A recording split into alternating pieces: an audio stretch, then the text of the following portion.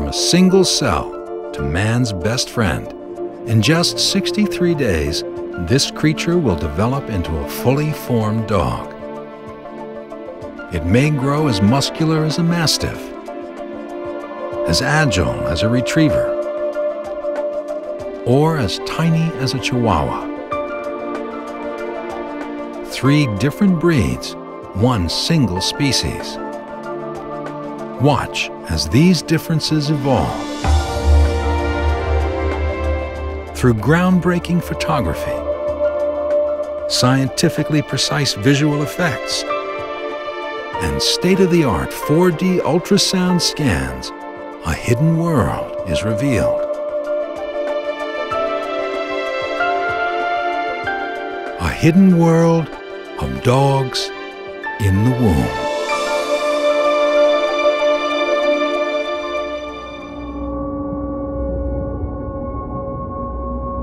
It's only four weeks old, but its lineage is ancient. This is a wolf, the common ancestor of all dogs. About 15,000 years ago, the gray wolf evolved into man's best friend. Early humans domesticated the wolf and turned it into the most diverse species on the planet. Follow the journey of the ancestral wolf and three very different breeds of dog as they develop in the womb. The Neapolitan Mastiff, a descendant from the fearsome fighting dogs of ancient Rome. The Golden Retriever, bred in the 19th century by a Scottish aristocrat to retrieve game birds during shooting parties. And today's popular lapdog, the Chihuahua, the world's smallest breed.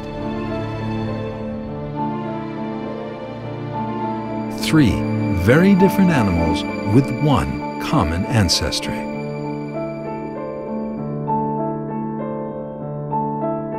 For all four animals, the story begins with a single cell, the unfertilized egg.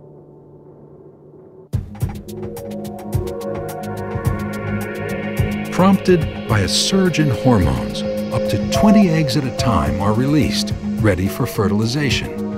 As the female comes into season, chemical stimulants called pheromones are released into her urine. They're odorless to humans, but dogs can smell them from miles away. Initially, she rejects the male's advances and may become aggressive if the male tries to mount her. This curious contradiction, attracting males before she is ready, may have evolved to encourage a number of males to compete for her, allowing the female a greater choice of mate.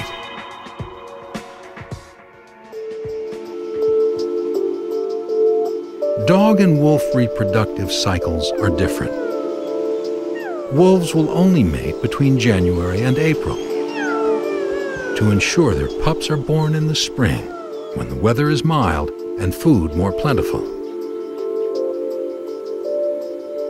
An echo of this is found in the way we describe female dogs in heat as being in season. However, without the dangers and competition of the wild, dogs come into season twice a year. The smaller the breed, the more quickly it matures. A Mastiff is ready to breed at age two, yet a Chihuahua can come into season as early as six months old.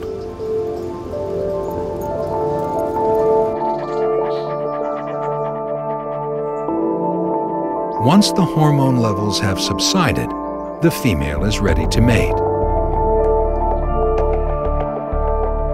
In dogs, as in many mammals, the penis contains a bone. This is thought to give it greater rigidity and to prolong the mating. But having a bone is no guarantee of success. The male usually mounts the female several times before he succeeds. What happens next is unique to the dog and its wild relatives.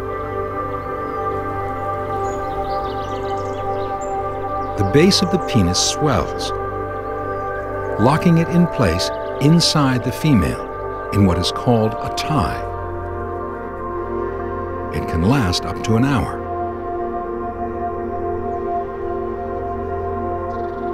Scientists believe this process helps to give the male sperm a head start over possible future competitors, while each partner can keep a lookout for predators.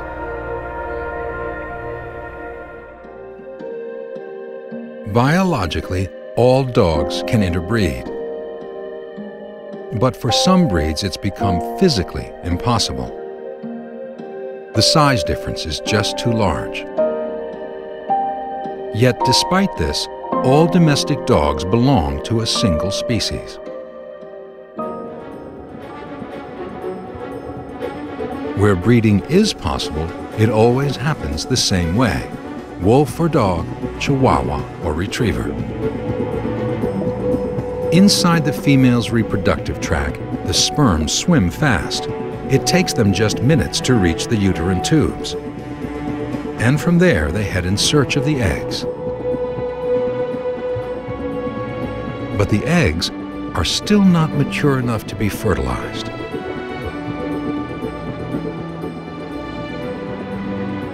Human sperm can only survive around two to three days in the reproductive tract. A dog sperm may have to survive a week or more, and they've developed a special trick to do so. They attach themselves to the wall of the uterine tube and wait. Once the eggs are mature, their chemical makeup changes and the sperm detect this. They detach and start swimming again. The first one to break in wins. It burrows through the outer shell and fuses with the nucleus inside. The chromosomes in the sperm mingle with those in the egg to produce 39 pairs. A new organism begins, containing all the genetic instructions for building one particular dog.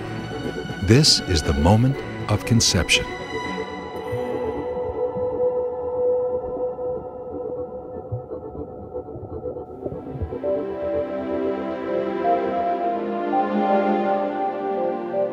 Soon after fertilization, the eggs divide and begin their journey toward the womb. All dog pregnancies take approximately 63 days. A wolf pregnancy lasts the same time. It's a reflection of their common ancestry. A comparison of wolf and dog DNA reveals that dogs evolved from wolves about 15,000 years ago. Scientists arrived at this figure by studying small strands of DNA called mitochondrial DNA, which are inherited down the maternal line largely unchanged. By analyzing the rare mutations in this DNA from over 650 dogs across the world, researchers were able to trace almost all domestic dogs back to three female wolves in East Asia. These long dead animals were the ancestral Eves of the dog world. From these first dogs 15,000 years ago, selective breeding by man has made them the most diverse species on Earth with a staggering 400 breeds. No other domesticated animal has achieved such variety of physical form. Our embryos are hidden from view in the safety of their mother's womb. It's here, in this secret world, where those differences are about to emerge.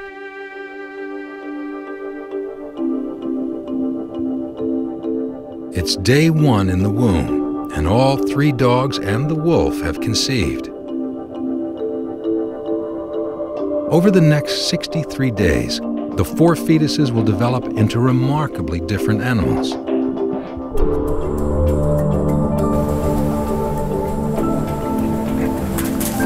Even if a dog hasn't conceived, about a month after copulation, it acts as though it has.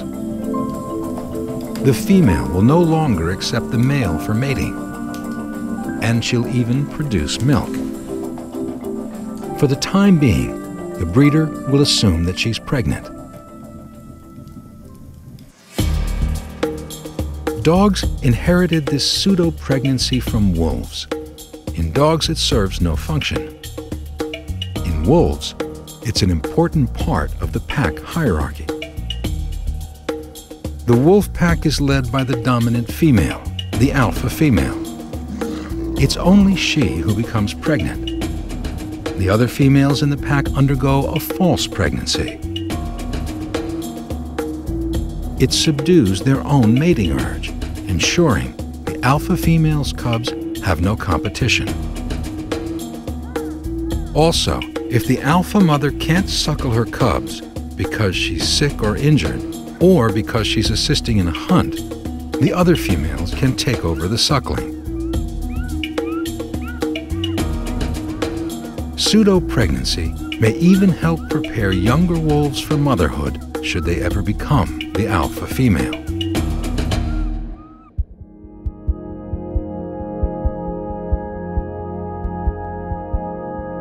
After 17 days, the embryos implant themselves. This occurs later in dogs than in other mammals, possibly due to their eggs taking longer to mature. As each embryo attaches, the uterus contracts. This pushes them along and creates an even space between each one. Next, the embryos undergo a process called gastrulation. The ball of cells begins to reorganize itself into a basic body plan. No longer a bundle of cells, it's now an animal in the making.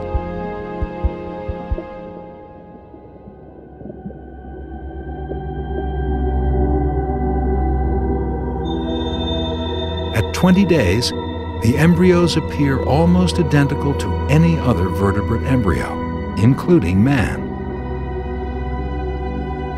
But within their cells, developmental genes called Hox genes are starting to activate, pushing development onto the next stage. Hox genes are responsible for laying out the body plan of the animal from top to bottom. They dictate which parts of the body turn into legs, ribs, heads, or tails. Here, Hox genes control the development of this limb bud into a forelimb. Meanwhile, another set of genes starts activating in waves across the limb, sending out signals to shape the paws and position the digits. Developmental genes will eventually determine the astounding head of the Neapolitan Mastiff, the long snout of the Retriever, and the large ears of the Chihuahua. As their journey in the womb continues, four very different animals are about to emerge. By day 30, the basic body plan of the three dogs and the one wolf are in place. Limbs are budding outwards. The major organs are present, and the heart has started to beat. A bulge at the point where the umbilical cord joins the embryos holds the intestines. They have to grow outside the body as there's no room for them within. When the body becomes big enough, they'll take their proper place inside the abdomen. The similarity of the embryos at this stage is evidence of their common genetic heritage. But exactly how did the transition from wolf to dog occur?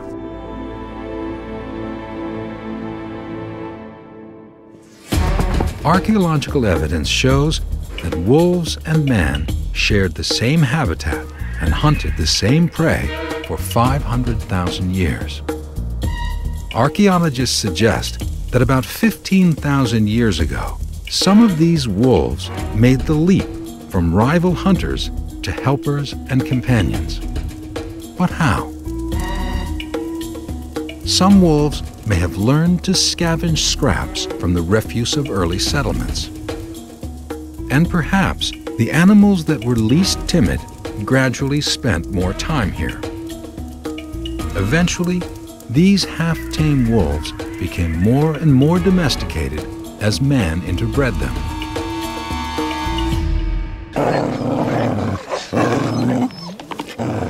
Initially, people bred these first domestic dogs to assist in hunting.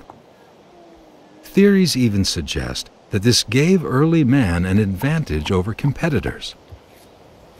Biologists think that changes in both features and behavior could have taken just a few generations. Now, halfway through their gestation, the fetuses are no bigger than a grape. The embryonic dogs still look like pure wolf. Already, the optic pit and eyeball are taking shape. A primitive retina, cornea, and lens are developing. Humans have three color receptors in the retina, providing full color vision. Dog and wolf embryos only develop two. Eventually, everything they will see will be of a bluish yellow color. The reason for this is the way wolves hunt. Their colorblind vision is good in low light, when a lot of their prey are also out hunting. Another secret of their hunting success is a specialized streak of receptors that humans don't have. Located in the back of the eye, it responds to rapid movement. For a wolf, that might be a scurrying rodent caught in twilight or a rabbit fleeing on the horizon. For retrievers, it helps them see a distant bird falling from the sky. This unique feature of the dog's eye is essential for retrieving and hunting. It's what also enables the greyhound to spot a hare running at high speed.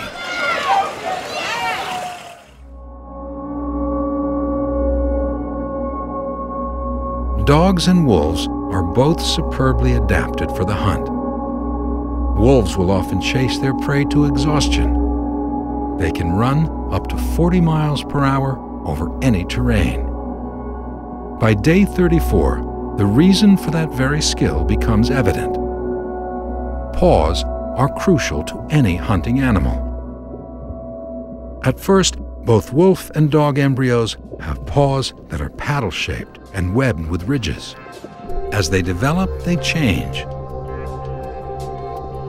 Wolf paws retain slight webbing between the toes, helping them spread the load over difficult ground, especially over snow. Most dogs have lost their webbing, as domestic animals simply don't need it.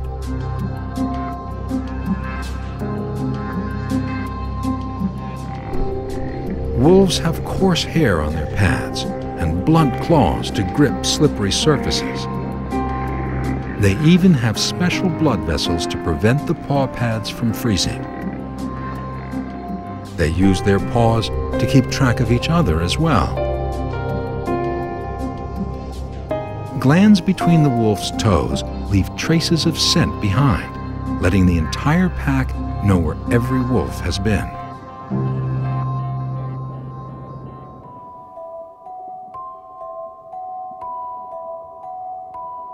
During the second half of gestation, development takes on a new and faster pace.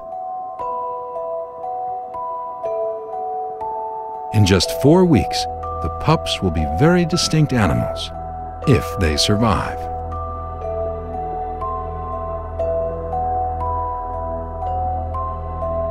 Dogs and wolves sometimes reabsorb their fetuses, breaking down the growing embryo into nothing. A small lump on the uterus wall may be all that's left. Wolves evolved in harsh times with many predators. so they developed a technique to maximize survival. It may seem counterintuitive, but reabsorbing some fetuses means the surviving ones have a better chance. If dogs get stressed, the same thing can happen. But their comfortable existence alongside people means they are usually free enough of stress to carry a full litter.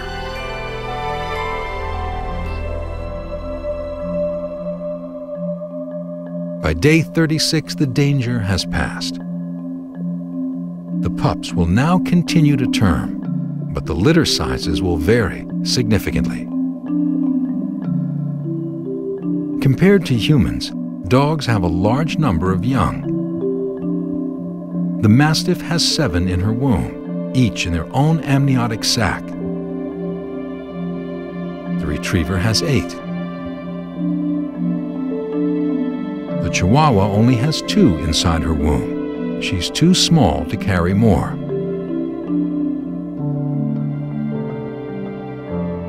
The tiny Chihuahua pups may be large enough to test a new scanning technique.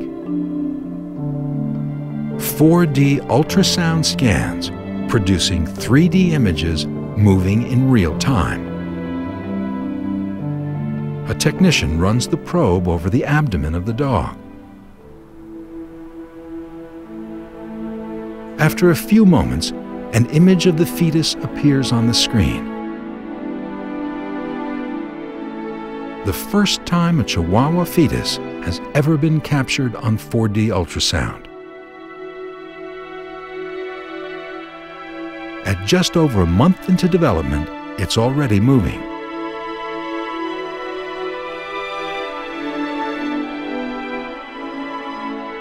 And the retriever fetus even appears to be running.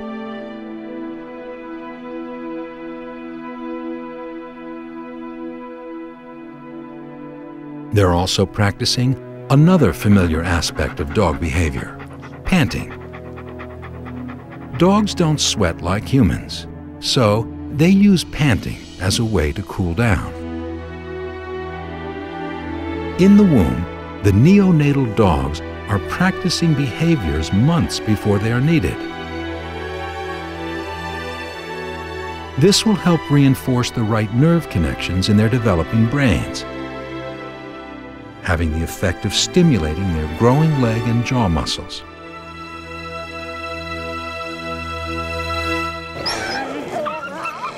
In wolves, these are the muscles they'll need most for successful hunting. We have harnessed that strength in many domestic breeds for our own purposes. A retriever's stamina in fetching game, or the power a mastiff needs to protect its owners. The process of changing a wolf into a collection of distinct breeds took little more than a few thousand years. The first domestic dogs were similar to their wolf ancestors. Their pack mentality meant they had a natural affinity for socialization. Humans took advantage of their natural talents, hunting, guarding, and working communally. It was the beginning of selective breeding. If two dogs have a similar characteristic, their young will likely be similar. By controlling which dogs were bred, we controlled how the next generation would turn out.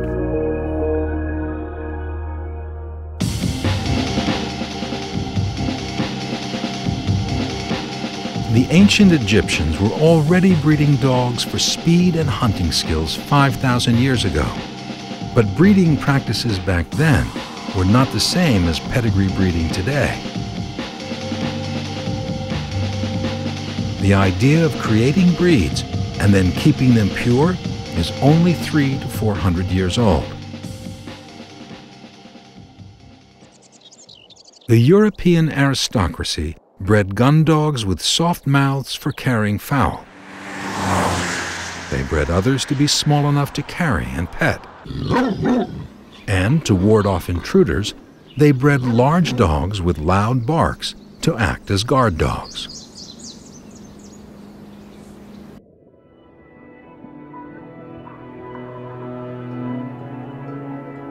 By day 39, all the fetuses are developing rapidly.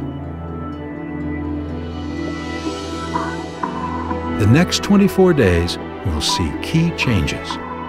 The ears and nose will develop.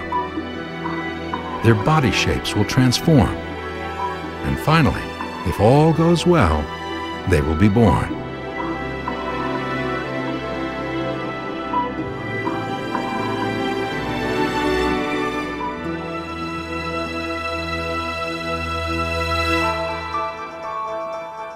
Until now, the placenta has filtered out the fetus's waste. Now, the kidneys are functioning. The embryos are excreting urine into the amniotic fluid. To protect their delicate developing eyes, the lids are fused shut. While this feature is common to both wolf and dog, there's one part of the dog's anatomy that varies more than any other the ears. With a month to go, the ears are well defined on all the fetuses. The inner ear has already formed, but the middle and external ear are still growing.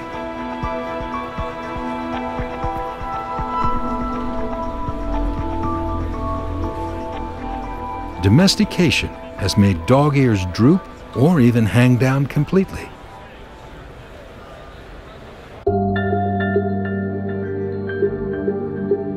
It's a phenomenon biologists call neoteny, when adults retain infant-like characteristics. In some ways, dogs never grow up. They remain almost puppy-like with floppy ears and wagging tails. This is partly due to early man choosing juvenile behavior, such as sociability and submissiveness the byproduct being the retention of these other juvenile characteristics.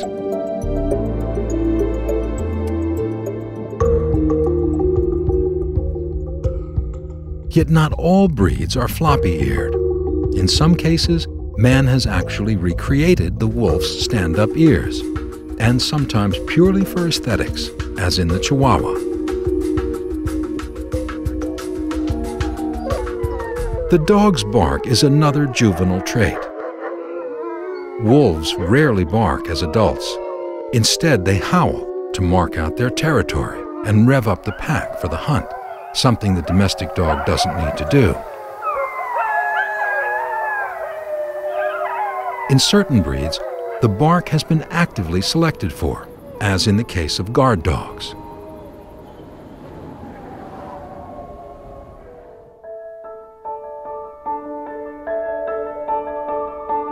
Despite the effects of domestication, one wild aspect the dog has retained is its incredible sense of smell. Like wolves, smell is a way of marking out territories and identifying members of the pack.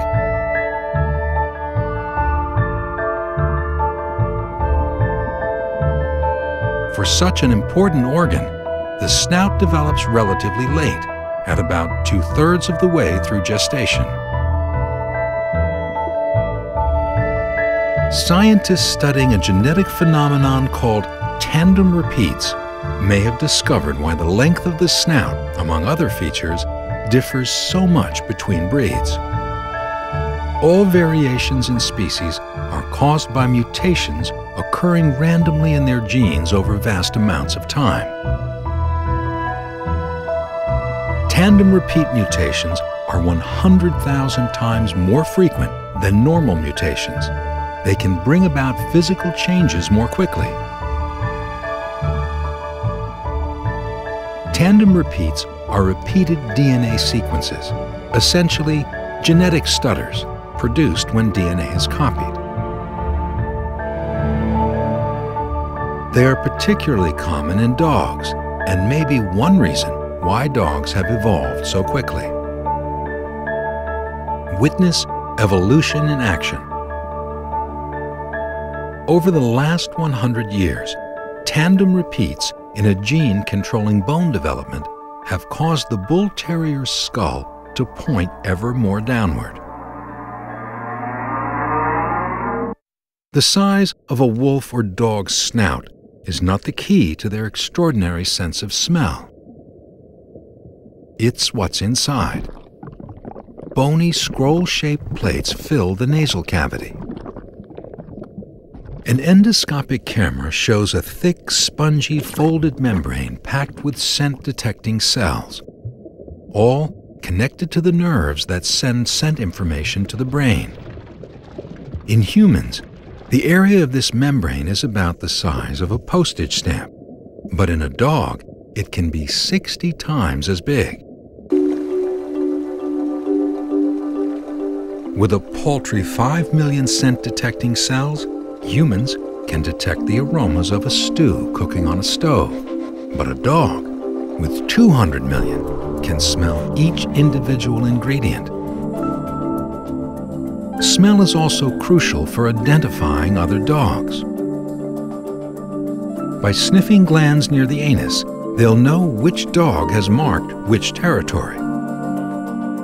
This incredible sense of smell has been employed to great use like using dogs to smell through concrete for dead bodies.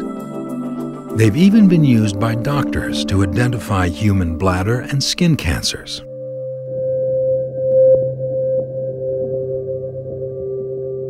Fifty-five days into the fetal journey, the dogs and the wolf are all in the final stages of development. The fetuses have begun to look like the animals they will become and their sizes are beginning to diverge, but nothing compared to adult life.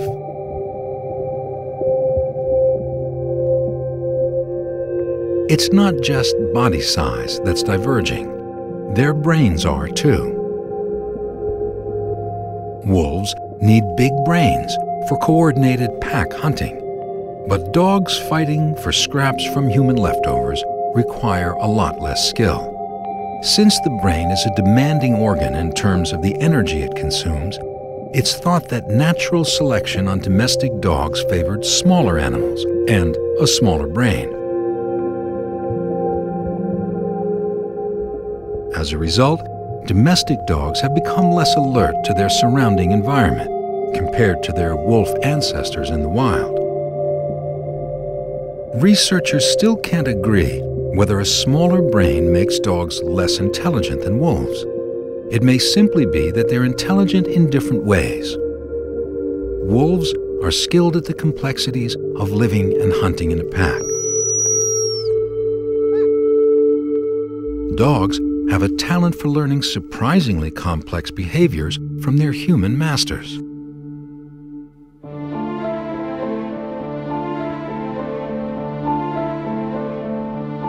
As they continue to grow, the puppies move around and their kicks can be seen through the mother's abdomen. By now, their fur is visible. The color of a dog's fur is one of the more intriguing aspects of dog development and evolution. The entire range of color in mammals arises from variations in just two types of pigment, black and yellow. Not only is the dog's coat developing at this stage, but also its temperament. The genes that control the pigments also control levels of stress hormone and thus affect how nervous a dog might be. Red-haired dogs tend to be more highly strung. Selective breeding has even produced bizarre variations in the skin of different breeds. By day 54, the Mastiff is showing these characteristic wrinkles. It's another product of selective breeding. The loose skin makes it difficult for any attacker to sink its teeth deep enough into the dog's neck to reach the windpipe or arteries. And recent selective breeding has caused these wrinkles to become even more accentuated.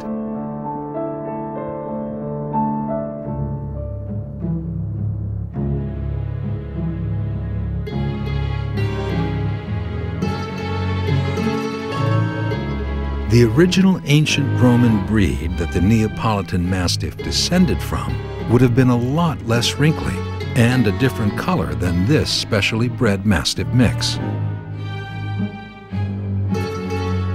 Small changes in dog genetics are so powerful that the original Mastiff family now encompasses breeds like the Great Dane and the Wolfhound. They were produced centuries ago by crossing the original Roman-style Mastiff with other breeds. Selective breeding is one giant genetics experiment, and the diversity of domestic dogs is proof of its power.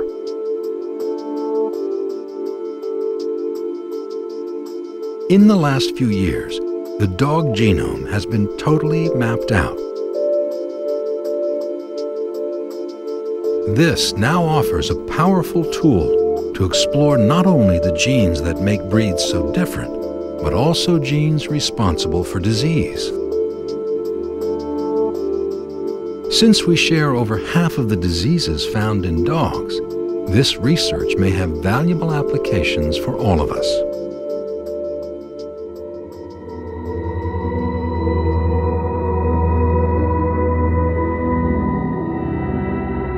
Incredible pace of dog and wolf fetal development is such that by day 59, they're almost fully formed. Only four days to go until birth. The Mastiff is gestating seven pups.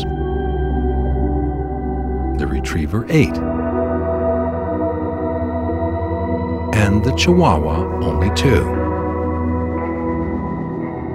Their eyes are still sealed behind their eyelids, and they now have whiskers and claws.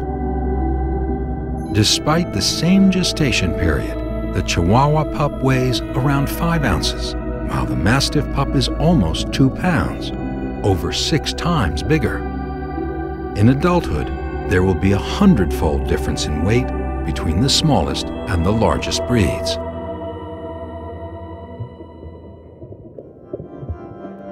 Pup's journey through the womb is almost complete. Immense differences have already developed between them. As they continue to develop, these differences will amplify to create four highly distinct animals, each the product of evolutionary pressures and careful breeding. The pups are now fully developed in the uterus, but they still have to overcome one final hurdle birth.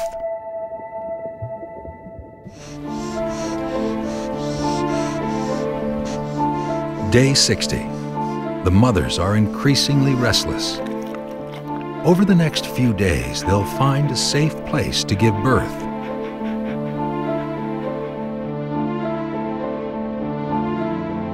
In an increasingly crowded uterus, oxygen levels drop, triggering birthing behavior in the mother the fetuses align themselves with the birth canal head first, and then contractions begin.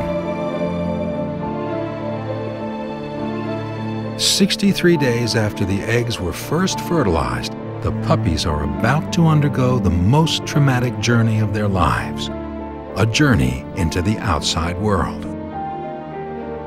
Giving birth can take as little as an hour or as long as 36 hours.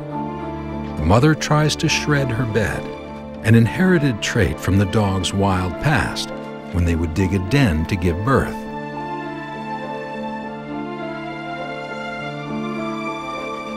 As the contractions grow closer, the dog starts to pant. She lies down to help her pushing. Many mastiffs have difficulty whelping. They're prone to uterine inertia, a condition where the womb stops contracting. But eventually, the first puppies emerge.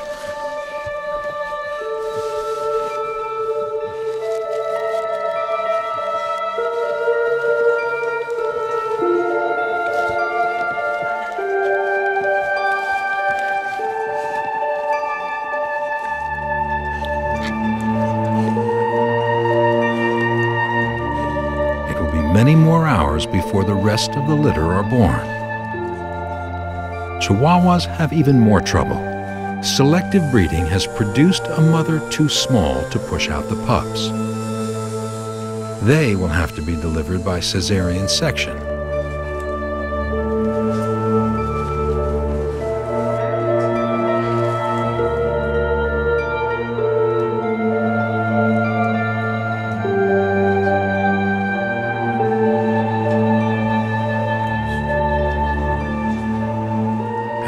Anesthetizing the dog, the vet carefully removes the largest pup, which is six ounces.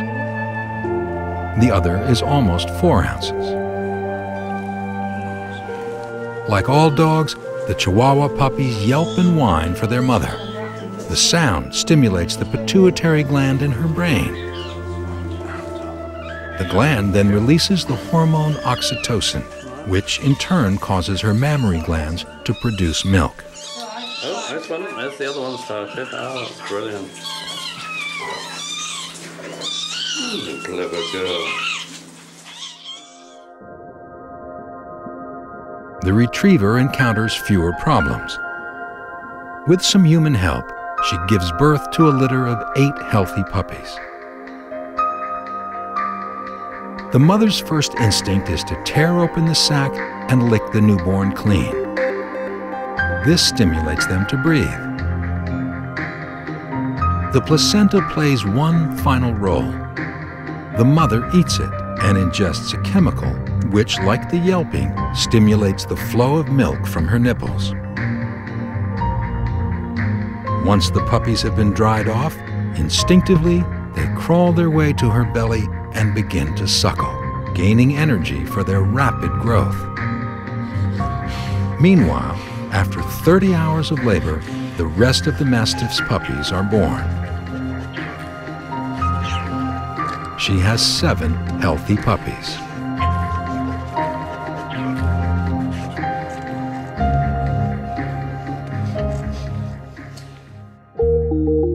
Wolves give birth in an underground den, a safe, warm environment in which the pups will grow for the first four to six weeks of their lives. They're physically strong for their size and can crawl around and struggle with each other for the best teats to suckle. It's taken the same amount of time to produce all these newborns, wolf and dog.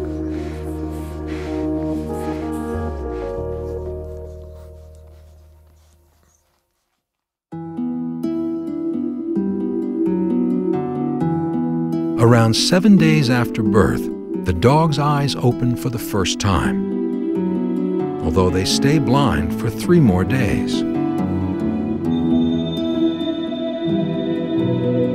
After two weeks, their ear canals open. And after 35 days, their hearing will be far more acute than a human's. The skulls of newborn puppies and wolf cubs all look very much alike and are in similar proportions to their bodies. But the wolf skull will continue to grow for another eight months, far longer than the dog's, to accommodate its larger brain.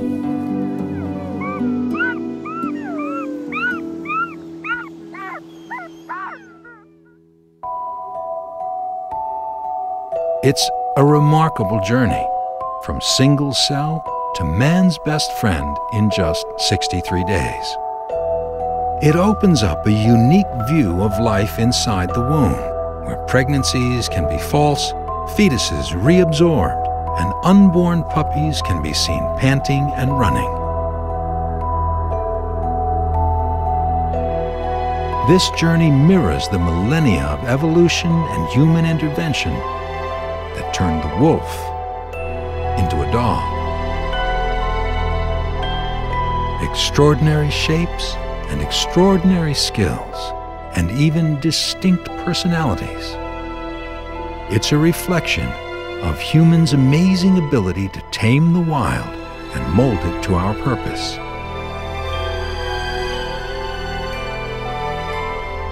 A 15,000 year journey relived in just 63 days in the womb.